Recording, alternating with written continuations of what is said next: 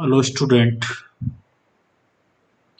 myself Lokesh Kumar Meena assistant professor government PG college Jahalabad BSc final mathematics के स्टूडेंटों का class में स्वागत है। आज हम मैथमेटिकल स्टैटिक्स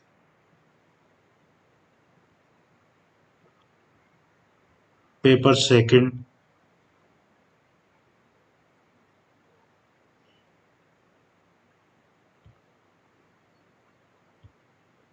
के बारे में जानकारी प्राप्त करेंगे। मूवमेंट फ़र्स्ट टॉपिक है मूवमेंट मूवमेंट क्या होता है? आघूर्ण। तो आघूर्ण क्या होता है? Mathematical statics paper second unit number first का टॉपिक है मूवमेंट्स तो if in any frequency distributions the variable x1 x2 xn have frequencies f1 f2 fn respectively, then the rth movement of a variable x about any point x बराबर a usually denoted by mu r dash is defined as अर्थात एक बारंबारता वंटन में कोई चर x1 x2 xn है उसकी frequency f1 f2 fn है तो rth मोमेंट है, जो वेरिएबल एक्स का होगा, वो any point x equal to a के लिए म्यू आर डैश से डिनोट करेंगे, वो होगा यहाँ पर म्यू आर डैश बराबर one upon n summation i equal to one to n f i x i minus a raise to power n बराबर one upon n summation i equal to one n f i d i raise to power r where f i summation f i बराबर N सभी बारंबारताओं का योग किसके बराबर है? N के बराबर। है तो म्यू आर डैश बराबर मूवमेंट क्या होगा? म्यू आर डैश बराबर one upon n summation i equal to one to n f i x i minus a raise to power n equal to one upon n summation i equal to one to n f i d i raise to power r, d i बराबर यह होगा x आई minus ए और summation f i equal to n. This the equation number one next है central movement केंद्रीय आगुण क्या होता है? तो सेंट्रल मूवमेंट वहन ए बराबर एक्स बार यदि ए बराबर एक्स बार अर्थात वहन moment of distribution will taken along with arithmetic mean called as central movement and RS central movement denoted by mu r. जब a बराबर x बार हो मतलब मीन बराबर a हो, x बार बराबर a हो तो मूवमेंट ऑफ़ डिस्ट्रीब्यूशन तो वंटन का जो मूवमेंट होगा will taken along with arithmetic mean यदि मूवमेंट का डिस्ट्रीब्यूशन अर्थमेटिक में समांतर माध्य के सापेक्ष हो, या समांतर माध्य के प्रति लिया जाए तो वो कहलाएगा सेंट्रल मूवमेंट केंद्रीय आघूर्ण, जैसे r s central r h central moment is called mu r और म्यू आर बराबर one upon n summation i equal to one to n f i x i minus x bar की घात are जो हमने equation number एक पढ़ी थी, उसमें जो ए था आपके पास में,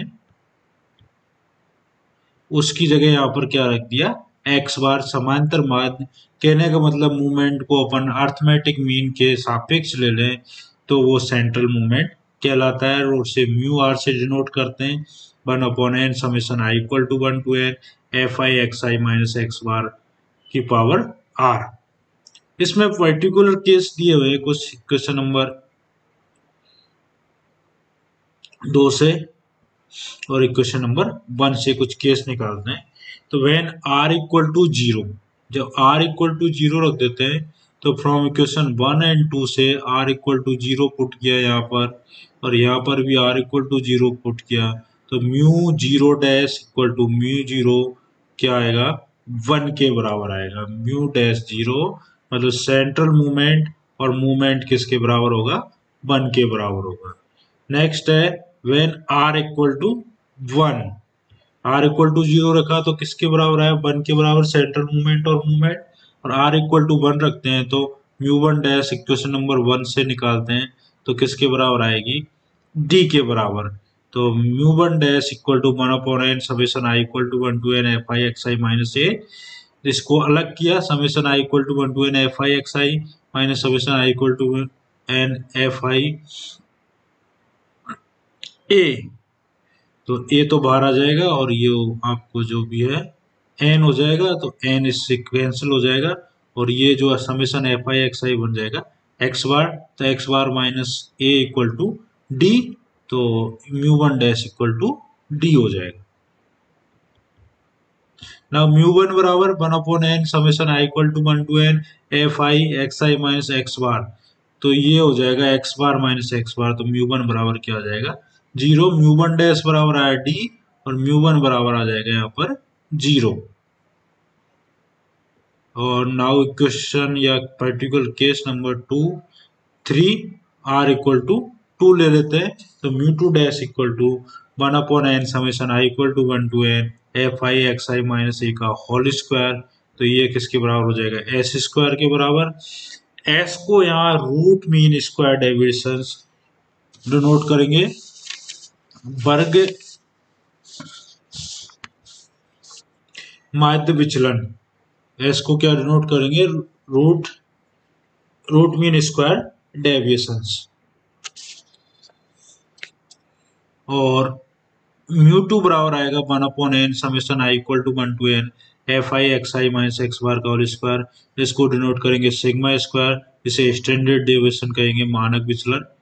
और एस स्क्वायर कहेंगे म्यू टू डैश का जो आएगा मान, उसको वर्ग मूल माध्य कहेंगे, विचलन, वर्ग मूल माध्य विचलन, और सिग्मा को कहेंगे स्टैंडर्ड डेविएशन नेक्स्ट है relation between mu r dash and mu r moment और सेंट्रल मूवमेंट के बीच में क्या रिलेशन होता है, वो यहाँ पर डिफाइन करेंगे। तो we know that mu r बराबर अपन जानते हैं परिभाषा से one upon n summation i equal to one to n f i x i minus x bar की पावर आर। तो one upon n summation i equal to one to n f i. यहाँ पर अपन ने minus ए और plus ए, कहने मतलब ए को जोड़ा और ए को घटाया।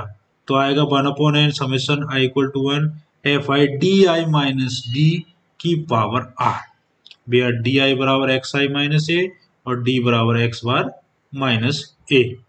तो one upon n summation i equal to one to n f i इसको अपन ने एक्सपेंशन कर दिया तो d i raise to power r minus r c one d i raise to power r minus one into d plus r c two d i raise to power r minus two d square plus and so on minus one raise to power r d की power are expansion कर दिया binomial theorem से। तो from x इससे x minus a raise to power n इस theorem को use करते हुए इसका एक्सपेंशन यहाँ पर कर दिया। तो अपने पास आएगा। One upon n summation f i d i raise to power r minus r c one. One upon n summation f i d i raise to power r minus one into d इसको multiply करते हुए पूरा खोल दिया इसको। तो ये बन जाएगा आपके पास mu r dash minus r c one. ये बन जाएगा mu dash r minus one into d और ये बन जाएगा आर सी टू। तो है ही यहाँ पर mu dash R minus two D square.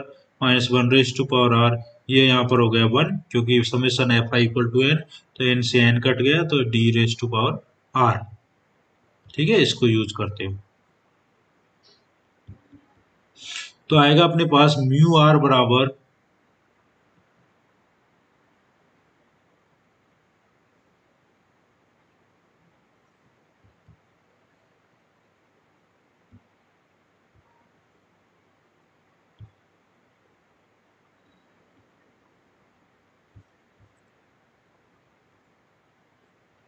Mu R बराबर mu R dash minus R C one mu dash R minus one mu one dash plus R C two mu dash R minus two mu one dash square and so one minus one raise to power R mu one dash की power R क्योंकि mu one dash किसके बराबर था?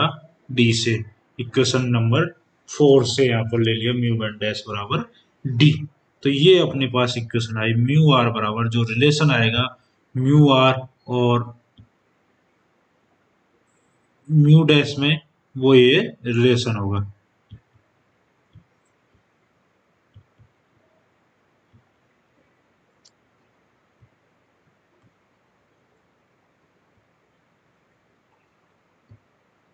तो mu are बराबर mu R dash minus R C one mu dash R minus one mu one dash plus R C two mu dash R minus two mu one dash square and so one plus minus one raise to power mu one dash की power R now particular case इस equation से आठ से particular case निकालते हैं। When taken R equal to one two three four तो equation number आठ are equal to one रहेंगे तो म्यू वन बराबर mu one dash minus mu zero dash mu one dash बराबर क्या आएगा? ज़ीरो क्योंकि mu one dash zero equal to one. तो म्यू वन बराबर भी ज़ीरो। तो इक्वेशन नंबर आठ में आर का मान एक रखा तो म्यू वन आया आपके पास ज़ीरो। आर के बराबर दो रखा तो म्यू टू आएगा अपने पास में। म्यू टू माइ dash minus mu one dash का होल स्क्वायर और म्यू वन डैश यहाँ डी है तो यहाँ डी रख दिया। तो म्यू टू बराबर mu two dash minus D square is the equation number जो भी है। और third R equal to three रख दिया तो म्यू थ्री डैश बराबर। Mu three dash minus three mu two dash mu one dash plus two mu one dash की power three और number R equal to four रख दिया तो चार मूवमेंट हो जाएँगे आपके R one R two R three R four तो चार मूवमेंट निकल जाएँगे। Central movement mu one mu two mu three mu four के मान निकल जाएँगे। R equal to one two three four रखने पर तो mu four equal to mu four dash minus four mu three dash mu one dash plus six mu two dash mu one dash minus three mu one dash four तो आज की class में इतना ही। Thank you very much next class में mathematical statics से फिर मिलेंगे। तो धन्यवाद।